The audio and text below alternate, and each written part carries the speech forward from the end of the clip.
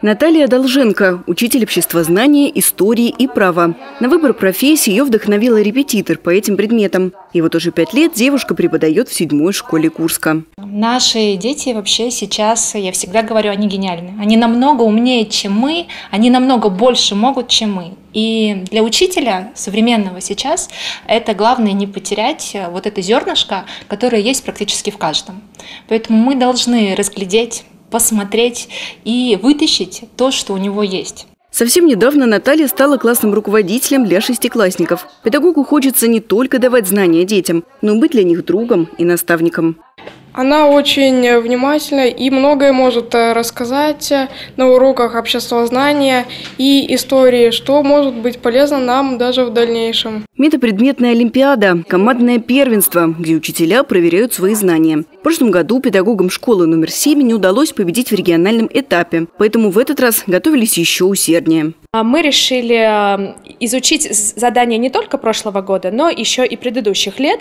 И мы готовились к разным языкам, но для нас было огромной неожиданностью встретить там э, немецкий, а, китайский и японский язык. Но там в основном были задания на, на логическое соотношение русских слов и японских, например, слов.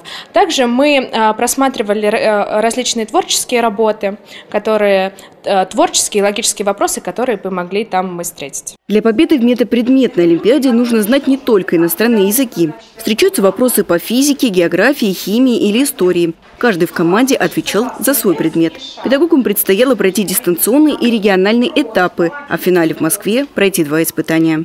Мы посетили музей космонавтики. На это было выделено три часа. Нужно было придумать урок, а, составить презентацию и дальше ее защитить. Это происходило в один день.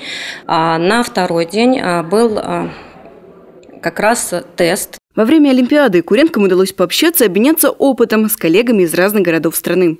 После нашего выступления с нами связались коллеги из Крыма, потому как понравилась им наша идея с роботом-чат-ботом, э, получается, которого мы использовали в уроке экскурсии, и решили вместе продолжить разработку данного проекта. На достигнутом курянке останавливаться не планируют. Впереди участие во всероссийском конкурсе «Флагманы образования». Диана Горяйнова, Алексей Еременко. События дня.